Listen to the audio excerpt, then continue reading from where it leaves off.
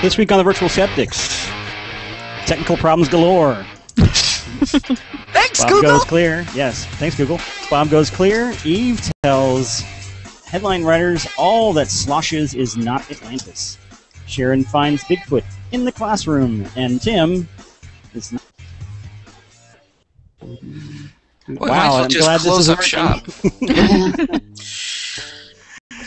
Got a surprise we're broadcasting right now. Google has been uh, rolling out some kind of software update today, and it's really been wreaking havoc with this. If you, if you haven't noticed, uh, this is live, clearly live. Almost Kelly, it's- dead. Yeah. It's Let me introduce our panel. We got a we got a panel change this week. Let's see. First off, we've got Bob Blaskiewicz, CSI's conspiracy guy, web columnist, blogger for Skeptical Humanities, and Swift blog contributor. Eve Siebert, editor and blogger at Skeptical Humanities and contributor to Skepticality. Sharon Hill, editor of Doubtful News and author of the CSI's Sound Sciencey web column. And special guest this week, instead of Tim Farley, who is doing work in quotes, we welcome our special guest, Ben Radford, research fellow at the Committee for Skeptical Inquiry, managing editor of Skeptical Inquirer magazine, investigator, ch- chupacabra slayer, columnist for Discovery News, Monster Talk co-host, author or and co-author of six books, and lots of other stuff. We'd be here all, all night. I know, with geez. Ben's bio. So, like I said, He's this the is robot live. we're talking about, right? What? Never mind. So, like I said, this is made it live. If you haven't noticed, uh, we are broadcasting on Google Plus Hangouts on air. Uh, if you post a question in the YouTube comments or on Twitter with hashtag Virtual Skeptics, we'll do our best to work it into the show. But first, we need an update on this week in the virtual, uh, no, in uh, Robot Apocalypse thing. That's the thing we're doing, right? It's the real actual apocalypse. Yeah, the the real actual apocalypse. I'm playing a video. Uh, this is a, a teaser video of something called the Maker Shaker, and it is really cool. It makes and shakes drinks. Uh, this has currently gone, been revealed to, today at Google I/O. The big conference is going on. What reason why they're rolling out software today? Uh, a cooperation between MIT's Senseable uh, Senseable City Lab and Coca-Cola and Bacardi Rum. Uh, it is set up to use three uh, these large industrial KUKA robots to make drinks on demand using a uh, an app on your phone. So you can download the app and order your drinks. You can see how many people are in line in front of you, and uh, they will shake it up and deliver it on this little conveyor belt. Now the the uh, arms themselves are programmed to follow the patterns of that were done by an Italian dancer called Roberto Roberto Bolle, someone I don't know because obviously I'm not cultured enough, um, and choreographed by uh, another guy. Nobody's going to know anyway. No, um, it's done as a social experiment, and it's at the Google I/O. There, let me get a picture of this. This is a nice static picture. It's really sexy, and it's uh, yet another example of how we're enslaving robots and also uh, teaching them skills to um, to eventually kill us. I want to Yeah. open a club now Yeah. Yay! and have that as Wouldn't that be awesome? bartender. Yes. That'd be wild. There are tons of pictures of this online today. Uh, people are tweeting about it. Um, I think there's a hashtag Maker Shaker or Google I/O. Um, Are they But, uh, demoing it at the at the conference? yes, you can actually. It's like uh, it's in the big one of the big atriums. You can just walk in and order your drinks ahead of time on your app, and they. Uh, the, the app will tell you when it's ready. It comes out on a little conveyor belt that's in front. There's like lights, the big scoreboard that shows statistics on what drinks they're making and stuff. It's really cool. And it has its own Love choreographer. Yes. Yeah, you can see Yes. that. It's its own stunt double too. How's that Do work? we have to tip it? I, I don't know if, If it you want to stave off the apocalypse, yeah. but yes, anything you can do to get on the robot's good side is a good thing. Absolutely. Just saying. Because if it can shake your drink, it could kill you. That's a Just, general just premise. saying. That That's is the true. worst Turing test ever. no. It, um, it reminds me of Kurt Vonnegut's uh, Player Piano. Um, there's the uh, a scene. It was his first novel, and he was basically writing about what it was like to work for. I think it was General Electric, Um, but he was en- envisioning life maybe 10 years down the road when automation had taken over and player piano um, you know all of the the skilled workers their moves were programmed into the computer and they were doing all the work in the factory um, uh, like a player piano um, so like the way player pianos do all the work in a factory. ex- exactly i hate you so but yeah um, if i were teaching a class on vonnegut right now i'd totally be all over that but awesome. yeah What, what, what was the uh, what was that the automatic the automatic chess machine the Turkish Turkish nun or something? What was that? You guys remember what Oh. I'm talking about? Yeah it's like was it Vaguely, the yeah. automatic turk or something It was, Yeah, it was yeah, called the yeah. Turk. Me- The mechanical Turk, I think it was.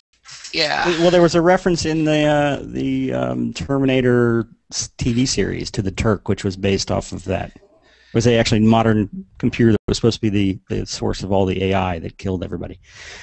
and, And, I also digress. a, a, a reference in uh, last week's doctor who to the mechanical turk a little guy sitting inside a chess game oh yeah, see nicely, nicely played. Okay, Mhm. well since you're talking, and I Yeah. know that you're going to talk about Scientology, and we all love your stories on Oh, Scientology. Scientology is a hell of a thing. Actually, Scientology this week is just an excuse to talk about something interesting.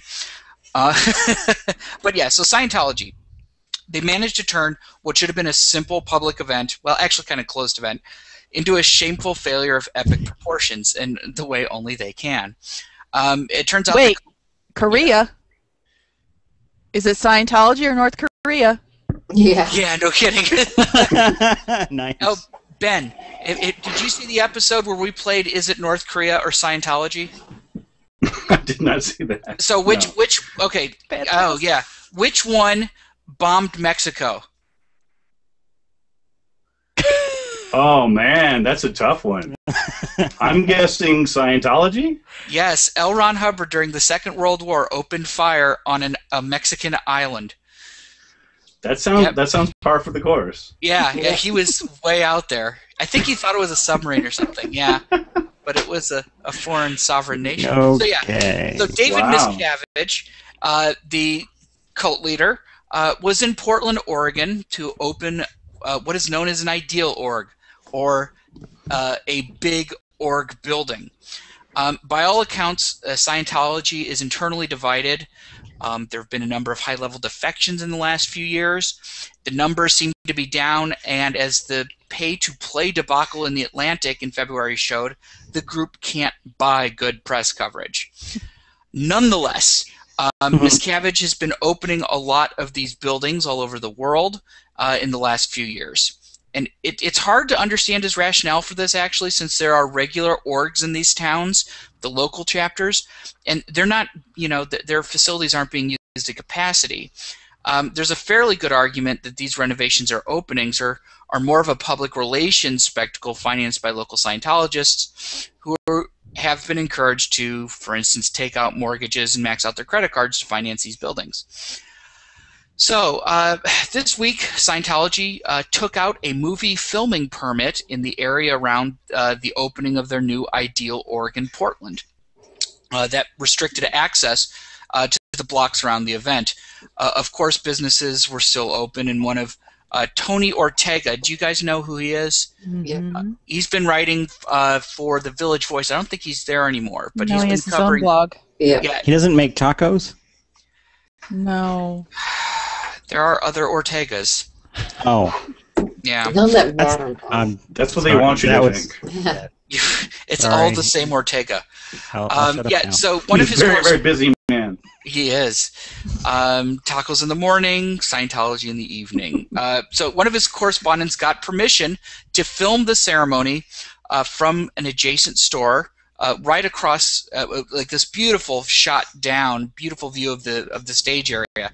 And I don't know what happened if he like tweeted a picture of the of where he was going to be, but the next day he came back, um, and the store denied him entry. Um, they denied him his perch. Uh, he was patted down by police. It sounds like the, the Scientologist got to the guy. Um, he was patted down by uh, police. So he then got permission to film from a nearby bar.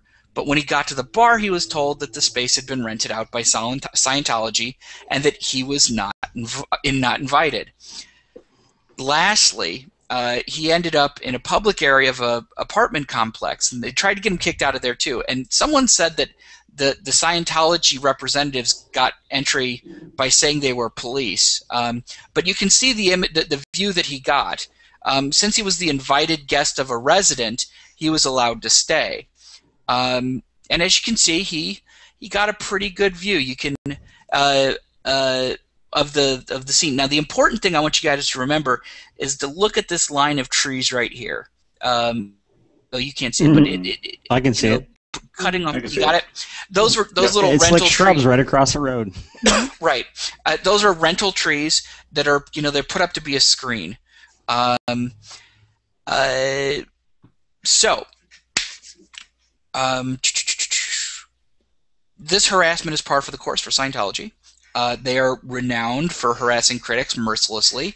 I think most famously in the case of John Sweeney, uh, the BBC reporter, who lost it, um, but was completely justified in doing so.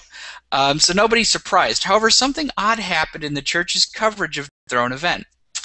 In the photo on their website, checked it out. We could bring that up. Yep. So- It's up. What is missing?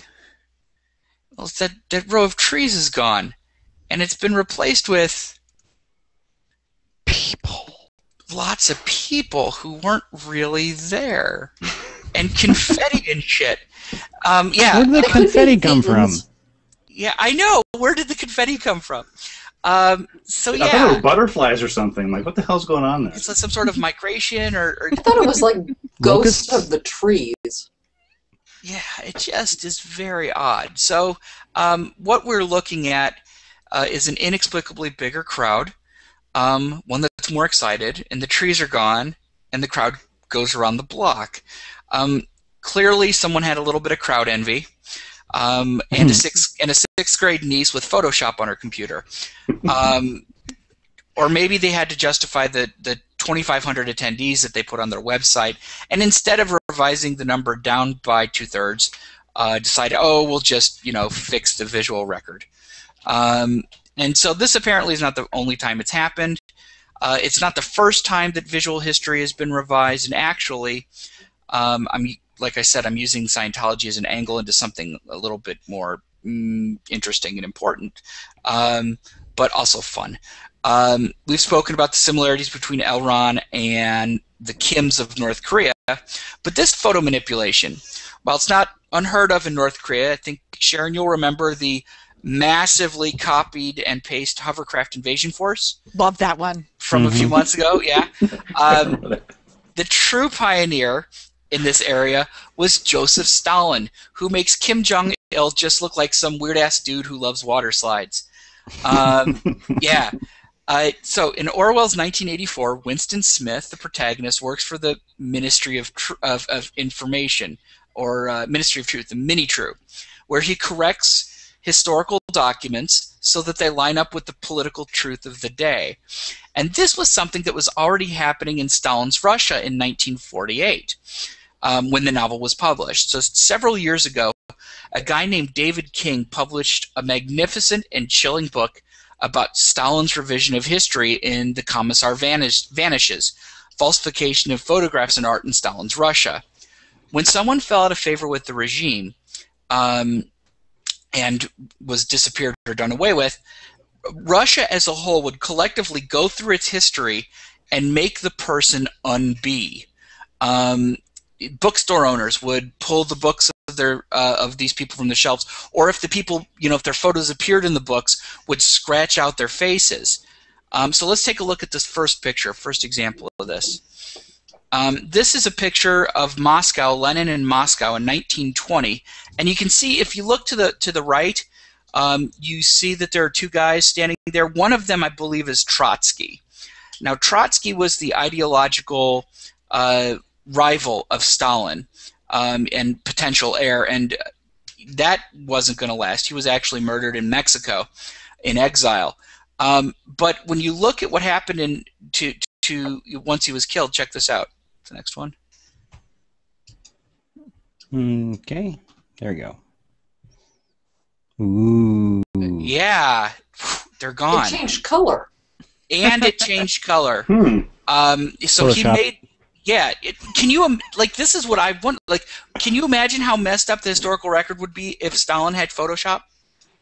So um, let's look at a, an, another one that that that is um, uh, more in line with the Scientology one. Now, this is a picture. This is not a bad crowd for Lenin. You can see him. He's the one who's who's uh, speaking, little bald guy, um, and it's not a it's not an awful crowd, but you know, Stalin wanted to wear the mantle of a really great man, so uh, he had people and go to this, the next one.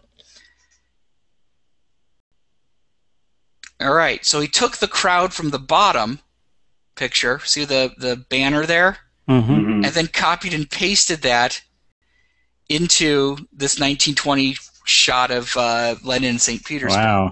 Bob, So- pointing at your screen doesn't actually work. That's true. It doesn't. That one there. That one there. Everybody look at that one. But and then yeah, okay, fine. I'm I'm in teacher mode, so I'm pointing at the screen. It's not a smart board. Ah, yes, I know it's not a smart teacher. So, all right, Wow. So it all fits. yeah, and the, let's take a look at the last series of portraits. One that's really kind of creepy. So this is a a, a photo of four principals. Uh, and uh, Nikolai uh, Antipov Stalin, Sergei Kirov, and Nikolai Shvernik uh, in Leningrad in 1926. Now, Antipov was the last leading Stalinist to be shot. He was killed in, in 1941 um, as the the Nazis threatened to capture Moscow, and this gave you this image.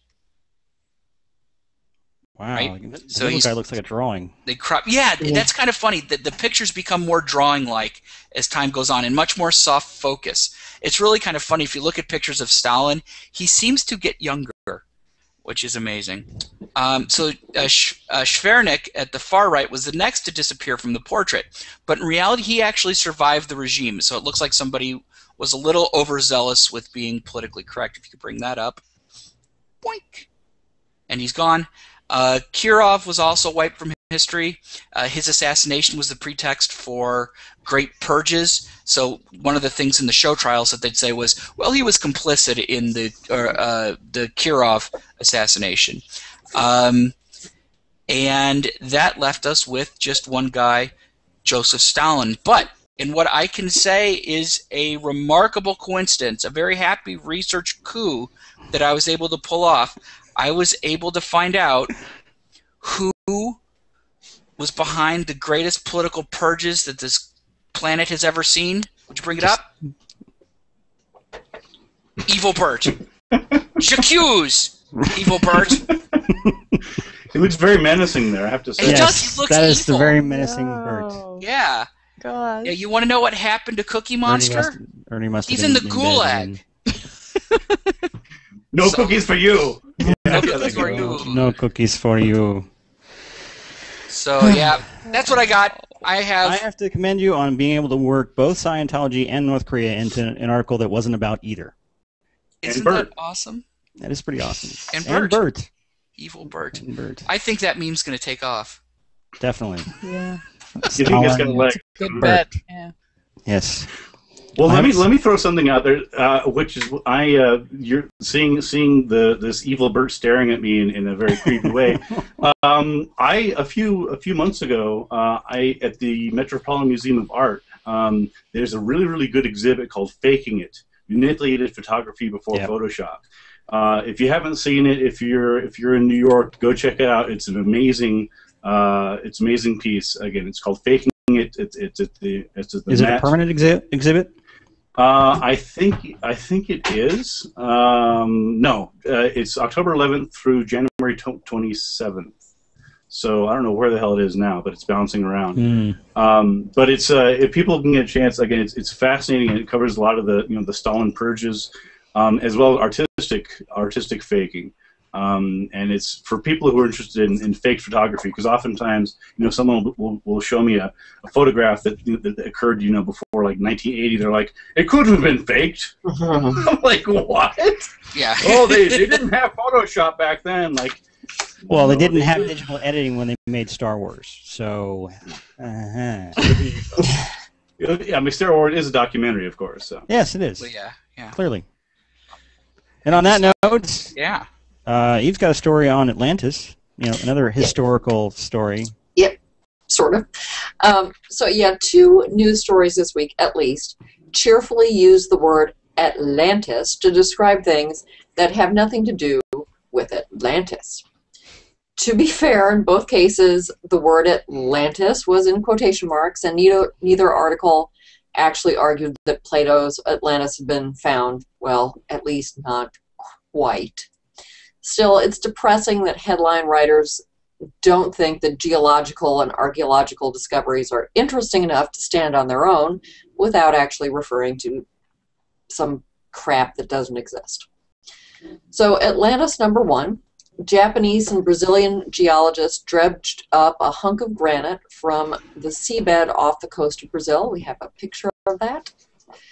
Uh, Roberto Ventura Santos, geology director of the Geology Service of Brazil, explains that it is unusual to find granite on the seabed, uh, and the granite could be evidence of a continent that disappeared after Africa and South America split. Now, Santos does actually refer to the continent as quote unquote Brazil's Atlantis, but he also clearly says that we speak of Atlantis in terms of symbolism. Obviously, we don't expect to find a lost city in the middle of the Atlantic.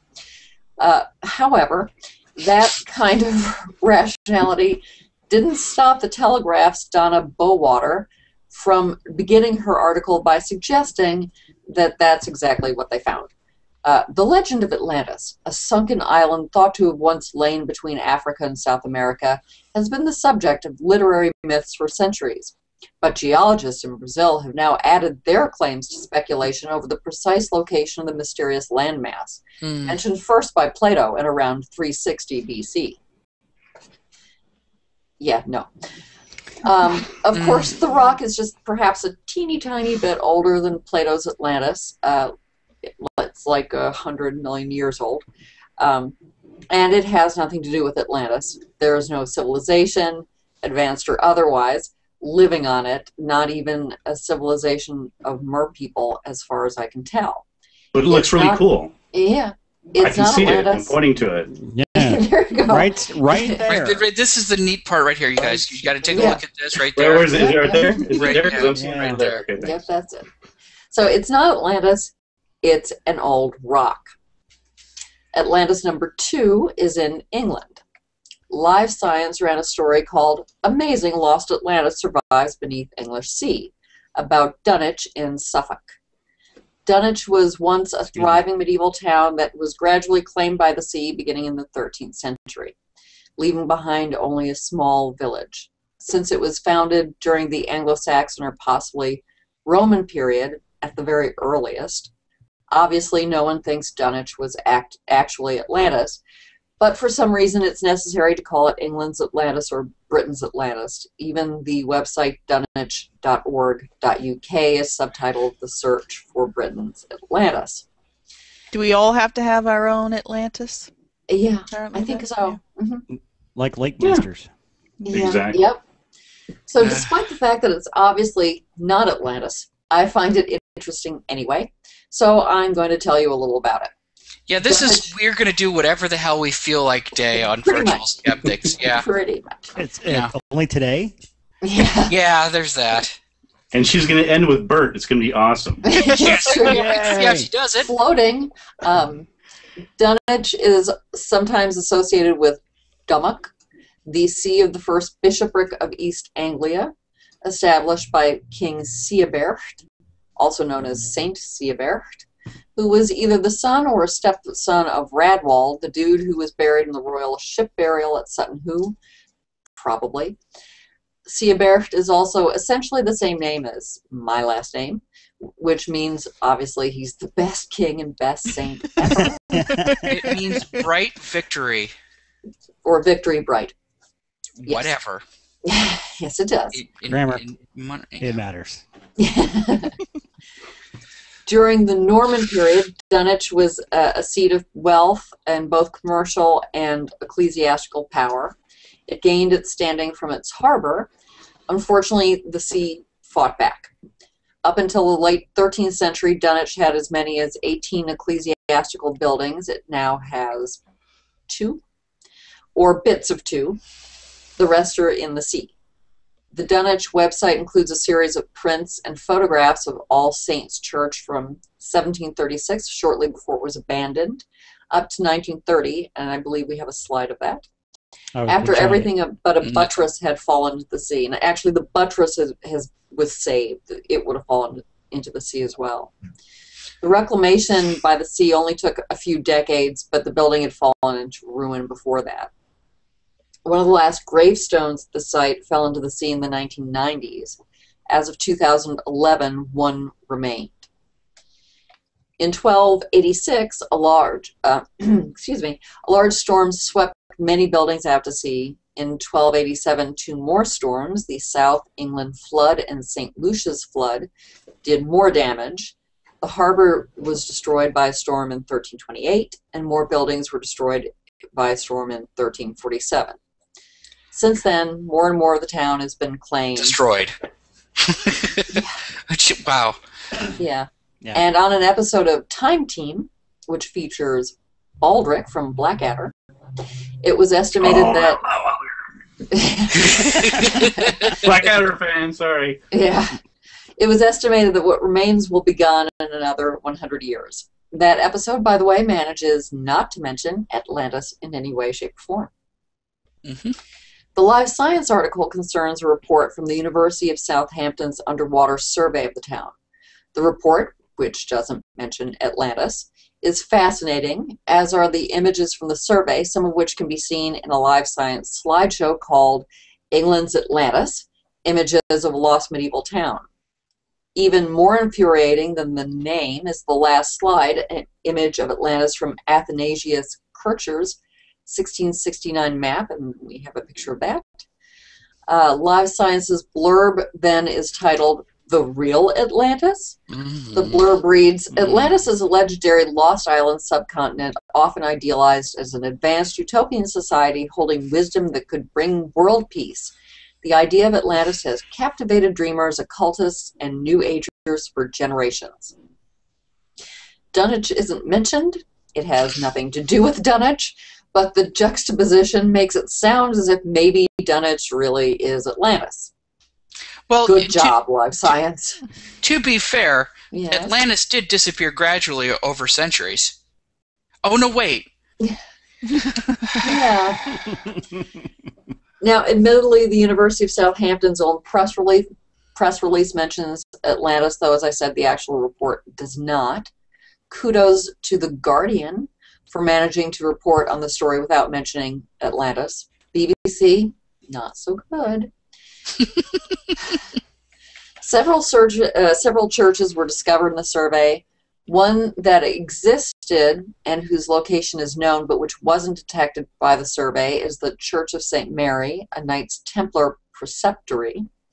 It was taken over by the Knights ho- Hospitallers after the Templars were suppressed, and then the building was destroyed in 1562 after the dissolution. And the foundations then washed out to sea in the reign of Charles I. No news on whether the survey discovered the Holy Grail or proof that Jesus was Mary Magdalene's baby daddy. so anyway, Keep, keep I, digging. I'd like to end by just looking at some pretty pictures that are not of Atlantis. First, we have St. Peter's Church. There's Oh. a slide of that What is this? Underwater, and then we Oh. have some mortar bricks from what what might be the chapel of St. Catherine's Church, and it's all very fascinating and nifty without in any way, shape, or form being Atlantis. Yay. There you go. That was Well, uh, I, I, I have to say, I, I, I've, um, I, I've written for Live Science. I, I write for Live Science, and I actually done a pretty good, uh, what I was told is a pretty good piece on Atlantis for Live Science. And I'm curious. I have I haven't actually seen it. I wonder whether they, they linked to my piece or whether the editors there saw this and they're like, if we link to Ben's piece, then this is going to basically undercut everything here. So we're just going to like pretend it is not there. I'll I have to did check not see a link to your piece. Yeah, but she does like to throw bombs like that, so you know. yeah. We'll find out. I think Atlantis is one of those those words that just draw people in. Yeah. Um, they're just going to use them, and it's become like chupacabra. the Or Bigfoot. the- Yeah. yeah, the anything catch-all word for something weird. Well, I, and it would be it, it wouldn't be so bad except for then the the weird little attempts to s- suggest that maybe it actually was Atlantis. Right, right. Even though the rest of the article clearly says, well, no, it's not. But what was annoying to me was that the scientists um, in the first story actually used the word Atlantis, the Yeah. Brazilian Atlantis, and as I as I wrote in Da- Doubtful News, this this is going to get people confused, just like the whole Mhm. God particle thing did. Yeah. They Yep. completely misconstrued the meaning. So don't do that. Yeah. Although again, he good. does say we use it symbolically. Yeah, well, that's lost. Yeah. A little caveat there at the end. Well, Sharon, do you guys w- w- do you do you guys know uh, what the what the update is on that Baltic uh, Millennium Falcon UFO? Remember No, that story? I've heard nothing. Yeah, I remember that, but no. Because yeah, because they, they they found this this big giant something or other, and some people were thinking it was a, a UFO. It looked like the Millennium Falcon, um, and and they, I thought they it was sent out after actually. A what? A Cylon raptor. Well, that well that was that was like that, that's the possibility. Yeah, I mean, it, it Don't be on, you know, what ridiculous, information- Brian. They're My less smart mind always Brian. goes to the robots. I'm sorry. Everyone knew it was the the plug at the bottom of the tub that you pull to drain the ocean. Yeah. That's right. That's right. The plug to hell. And last I Is it where heard, that- they're that- they're they're going back to look for it. So Hmm. Yeah. I'll be curious to see It's what the gla- the last the last we heard was that the scientist said it's glacial. Yeah, well, Sharon, didn't you look at that? You looked up the history Yeah. of the region, and Yeah. it was in a, a, a spot Yep. that looked like a deposit. Yep, it was definitely glacial. And then when you draw a picture of the Millennium Falcon around it, Eve, right? It, it looks like the Millennium Falcon, Mhm. like everything else. Yeah, if you draw a picture of something, then it looks like what you've drawn a picture of. Yeah, especially with It's Weird how that works. Yeah. I know, it Sonar works really well for stuff like that. Yeah. Draw it with sound first, and then you could draw the picture around it. So I saw a really cool picture of Bigfoot on your website earlier this week, and I think you're going to talk about that. Uh, I don't, the, the the cute little cartoon. Yeah, the cute Was- little yeah, I cartoon. love I like that. the I'm- cartoons of Bigfoot. They're nice and friendly. I have a stock set of Bigfoot photos that I would use for um, putting up for, for stories. You know, Bigfoot Crossing or the Patterson Gimlin uh, little icon, iconic vision of Bigfoot. But this one was just like um, this teacher in uh, Boise, Idaho. Was it was a science class and it's from uh, it's the Riverstone International School, which strikes me as maybe just you know one of those Hmm. schools where it's more advanced. Kids are more advanced and they do more interesting things in your everyday school curriculum. Well, this professor, John Pedersen, was a is a science teacher, and he's teaching the kids about ecology and quote scientific possibilities.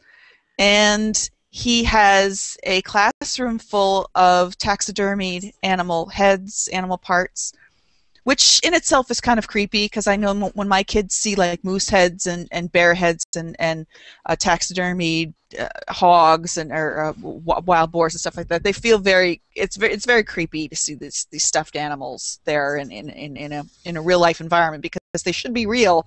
They're dead, and I don't know how he uses them. Uh, he says he uses them for forensic wildlife forensics, which is interesting, but it's a taxidermied specimen that doesn't represent really the, the real creature. But anyway, he's also got a seven foot tall Sasquatch uh, taxidermy thing in his classroom. And it says, uh, the article says, the video says that he uses it to teach about ecology and um, about science. Well, this kind of upset me because you can teach about ecology, that's terrific. Uh, how about we use animals that actually exist? And what struck me about this story was that he was using it, Bigfoot, as a, in a suggestive way to say that, uh, well, let's look at uh, ecology, ecological principles using Bigfoot. What does he eat? Where does he live? We don't know those things. Um, bagels. I yeah, I, I don't see that as a good use of uh, um, uh, an analogy in science. And I don't know, Ben, you, you took the same courses that I did for master's degree. We talked about using analogies in science. They can be dangerous to do hmm. this because you, you take a real world concept and you make it into a pretty story and you you ha- you have the possibility of misconstruing the story or or just making people misunderstand the concept entirely or putting putting nuances in there that don't belong. And i felt that this was a way that he was doing that by suggesting that bigfoot was potentially real. Well anyway after the story aired on the local idaho news station dr jeff meldrum who is a professor in idaho i'm not sure which idaho university it is but one of the state universities in, in Idaho, and provided the teacher with some, uh, at least one cast, footprint cast, in order to uh, educate the students on Bigfoot. So again, I just get this feeling that it's not about science, it's about belief in, in this creature, making the kids more uh, open to the idea that Bigfoot is, is is existing in, in a way that doesn't really belong in a science class. Uh, so I posted up on my Facebook page that this story disturbed me that it was being taught in a science class and am I overreacting? And I got about, oh, I don't know, 40 comments, 40, 50 comments on it. And oddly enough, all the people who were sympathetic to Bigfoot existing said, no, it's not a problem. And the skeptic says, this is really a problem. Uh, it's not the way science should be taught. Of course, I, I go back to Barb Drescher, who says science is not about probabilities, or it's not about possibilities. It's about probabilities, and the probability that Bigfoot is there is something that should be taught, not the possibility that Bigfoot is out there. That's the mistaken concept of, of educating about how science works. And um, I thought the same thing. I, I, I thought that this was this was not this is not a way to go about introducing monsters in the classroom. Mm. I am a big fan of talking to kids about monsters because they're interested in the topic, and you could you could talk about a lot of different subject areas when you talk about monsters in the classroom, uh, including science, how to how to approach the science and how to approach evidence and critical thinking and how to evaluate these claims this did not appear to be what the teacher was doing. And they interviewed a student, and the student came right out and says, "Well, yeah, we learned about how Bigfoot could exist in this sort of environment and stuff like that." So right, right off the bat, I'm thinking this is just a not not a good way of be teaching about science uh, in, in, by using Bigfoot as an analogy. So. Uh, yeah, I felt uncomfortable about it. If it was my kid's classroom, you'd bet I'd be in that classroom giving the skeptical view, but I actually once tried to talk about monsters in my uh, daughter's classroom, fourth grade classroom, four, mm-hmm. third grade classroom, and they told me no, you're not allowed because it suggests belief, and if you talk about belief, then it could lead to other uncomfortable conversations about religion. So I was told, don't come. Hmm. So this this this whole idea of of this concept in the classroom bothers me. I don't think it's a good way to teach science at all. Mm-hmm.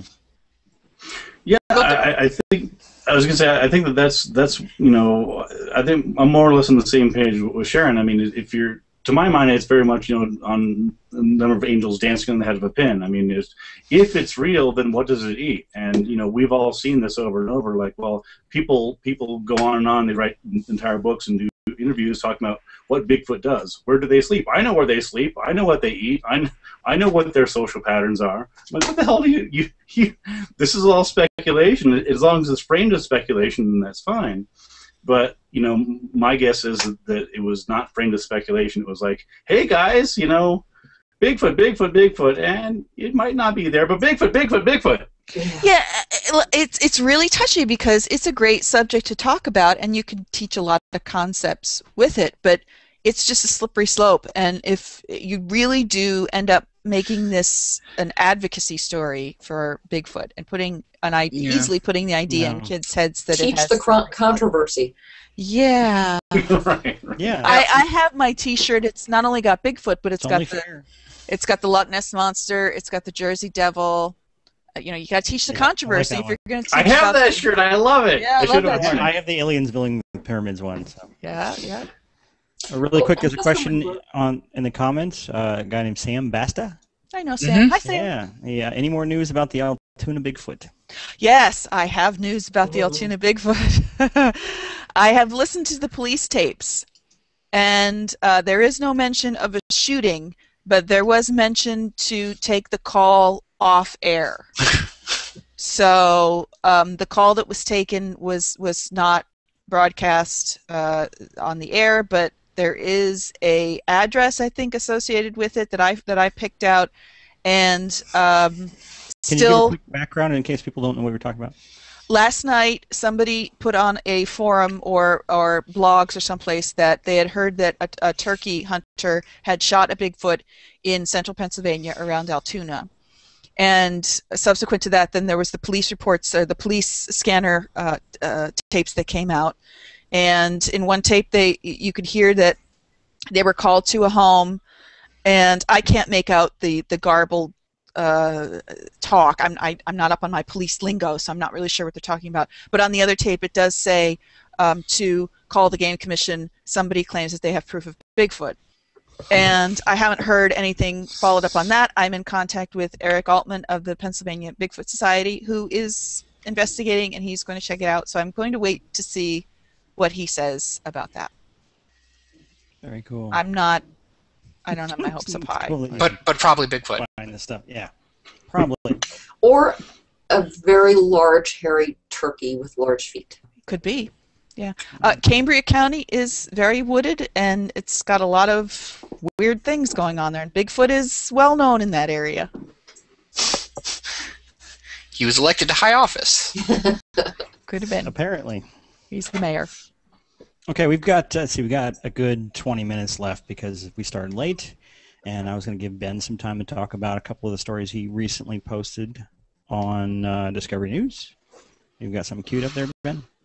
Sure. Um, yeah, I'll just talk a little bit about. Um, actually, was inspired by some something I saw on Doubtful News on, on Sharon's piece on, on zombies. Yay, Sharon! Yay! Uh, where uh, which I always I always just love Doubtful News. I, I enjoy getting the updates and, and it's cool because it's sort of a give and take. Sometimes I find great ideas for stuff, and then sometimes I find, I, am surprised to find myself on there. I'm like, what the hell's going on?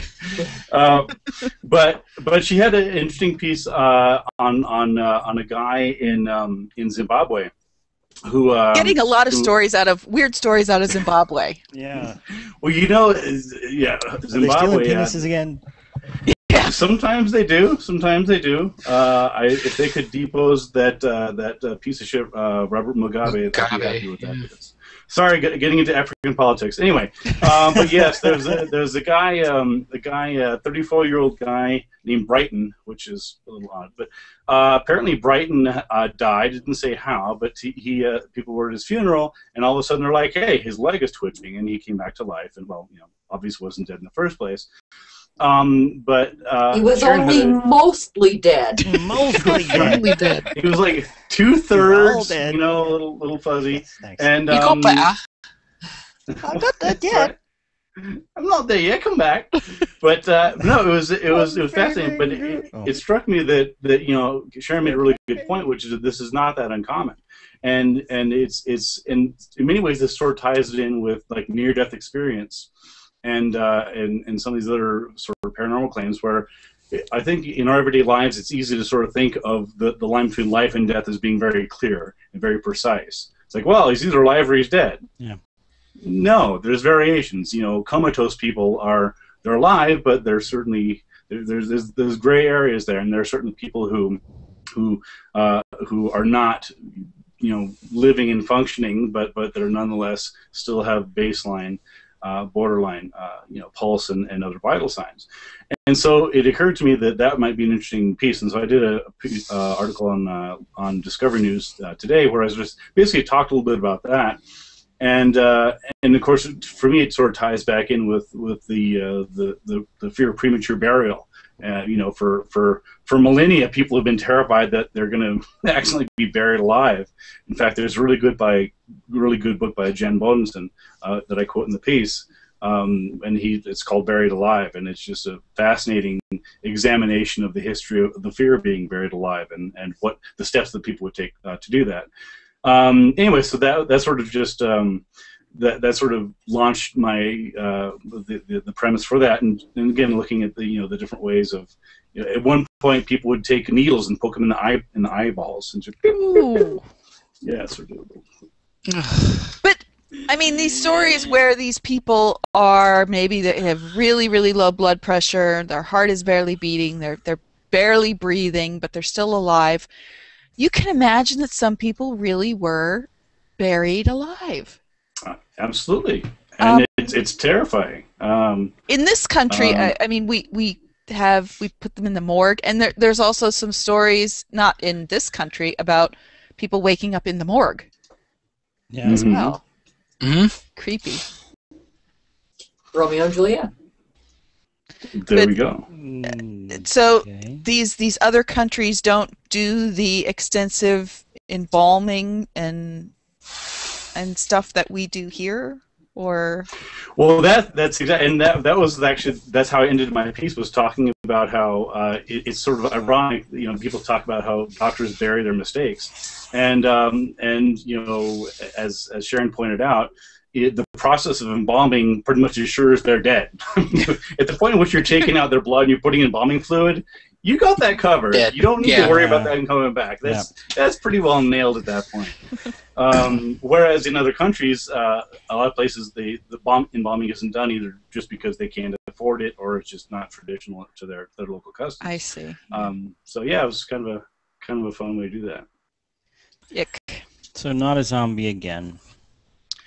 No, no, sadly not. So sad. Why are they always waking up at the services? They don't want to miss their own funeral. It's, it's more dramatic that way. Yeah. Yeah, that's what I'm thinking. Well, or maybe you know what? It could be that they have a quicker turnaround time than we have. We usually wait for a few days before we do a burial. A lot of cultures they bury the bodies very quickly, so maybe mm-hmm. they just haven't been down that long. Well, the week before there was a story about the the hooker that oh, what? up. I'm sorry, hooker. I'm sorry. So there, everybody stop. Bob's interested. What? Hold on. Yes. She died during work hours, and work hours. I like yeah. the way that's phrased. Very nicely phrased. and they removed her, and I forget what country this was. They removed her oddly, and not in a body bag, but in a steel coffin, which I thought was strange. I, so I'm not buying this story, which is why I didn't cover it on on Doubtful News. It was too doubtful, but um, could have been completely made up. But apparently, she just burst out of the coffin and said, "Ah!" Started screaming. yeah. What are you trying to do? You trying to kill me? Where's my money? Yeah, I can see that. That would oh. be very, very awkward. I've not been paid. Damn it. No, actually, wow, it, it's funny. Bob should bring that up. There, in the uh, in in the 1700s, in late 1700s, in in France, actually, people were so concerned about it, they would have what were called waiting mortuaries, and they would actually take the dead there. They would line them up in these basically warehouses, and they because they were so concerned about burying uh, people who were actually alive. So there would be these attendants who would just basically walk back and forth among uh, these these rows of corpses and various poking it with the sticks, poking them with sticks, and you know, and, and just just uh, looking for any any sign of decomposition. Um, I can't imagine. I imagine that the turnover rate in that job was probably pretty pretty high, but um, the official stick poker. I'll poke you good. Uh, by the way, if, if anyone likes uh, good horror movies of people being buried alive, there's a there's a uh, film called The Vanishing by George Sluizer. See the original. Don't see the don't see the shitty remake with uh, Kiefer Sutherland. I think it was. That's the one I've um, seen. Hmm? Yeah, don't see I've that. Seen, I've see seen the, the, horrible remake. Yeah. See see the original. It's very good. Okay. That's my right. that's my movie recommendation for the week. Awesome. So we have no zombies, but but decent movie recommendations. Awesome. Uh, see, we got. Uh, uh, we can probably start uh, doing announcements. Uh, I think Sharon's got an announcement. Oh yes, I just announced that um, I'm going to be doing a, a workshop at the uh, James Randi Educational Foundation in Hollywood. The end of May. It will be June 2nd, actually. I'm going there. That the end is of the May. end of the May. Yeah, June 2nd, Sunday. Very, very, very late, man. There- it's, it's like negative May. Plus or minus. Yeah. Error It's within the margin of error. It's in the error bars there. Nice. And uh, So they're gonna will take you. They're gonna take you to the Magic Castle. Uh, I I don't know yet, but oh, they um, have to. we'll see. Uh, I uh, I'll be uh, we'll be videotaping the presentation about uh, it's called I doubt that the media guide to skepticism. So hopefully we'll have people come out and, and see that live, and then it will also go on the net as a video workshop. Very cool. Awesome. Nice. And I also had a uh, a post out last week on the Huffington Post that went went around quite a bit. It was about hoaxing. I, it was my second in part of hoaxing. The first one I had talked about the three hoaxes we had in one week. You know, the alien, the the the uh, lock, the lake monster, the Irish lake monster hoax, and I don't know, probably oh Bigfoot, Rick Dyer's Bigfoot body. he's, he's the poster boy for Bigfoot hoax of the year. Yeah. Um, and then uh, then I followed that up with talking to Jeb Card about uh, this really cool word called occulture. O C C U L T U R E. like A cult culture. Sure. I thought it was one of the greatest words I'd ever heard about the culture of the occult and uh, how hoaxing has always been part of that. So we had a nice discussion, and that's up on Huffington Post. Awesome. Cool. Anybody else have anything? Because I don't have anything on my list here. Um, I think next week I'm on Strange Frequencies Radio. Yes, you are. Very Yep. nice. I'll be listening. I I recommended you to them. You're oh, welcome. thank you. and you will have a great time. Ben has been on before. Yep. Those guys are awesome. I always Yeah, have a good time with them. Yep. Fun. What, what, what's your topic? If, Well, if I we think- may ask. We're, we may be wide ranging. We're, we, we'll do conspiracy probably, and probably Br- Brzezinski as well. And feel free to swear. You're allowed. Oh, that's great. I didn't swear just now, but I wanted to. no, no swear there, not not here. yes. Okay, now that that's clear. Um, I think it's book time. Everybody got books? hmm Yes, You brought, you brought book, Ben? Would you like? I do. Sure, I'll go first. 'Cause Um, thank you. wondering if you're gonna do. Okay. you wondering if I'm going to pull it off? Yes, I am. Um, my book is uh, is a No, book don't tell us. Don't tell us. Don't tell us. No, Don't Oh, tell us. no, no, no, no, no, no, no. You read first. We go back through. I, I, I, I forgot. All right. Okay, I'm gonna. My, my French is non-existent, but I will. That, uh, that that's actually not gonna give it away. That'll be fun. Okay. Subscription figures do not begin to convey the impact of the reporting of the Courrier d'Avignon and other papers like it. A single issue of any major newspaper reached many readers in the 1760s, not only because of, of sharing among family and friends. The sudden increase in book and newspaper publishing in the middle decades of the 18th century brought with it an expanding infrastructure that assured, that assured wide dissemination of the printed word. Some booksellers lent news sheets on site for a small fee. Others sold outdated issues at a discounted rate. For readers who could not afford the cost of a readers who could not afford the cost of a new newspaper subscription or who wished to combine reading with socializing, reading rooms offered another attractive venue for news consumption. Who's up next? Go, Sharon.